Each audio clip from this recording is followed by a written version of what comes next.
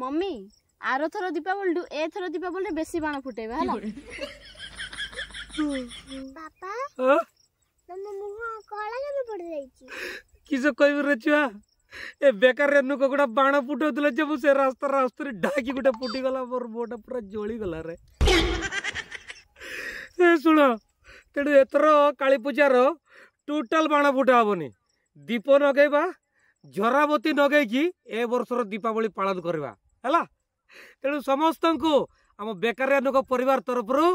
happy Deepavali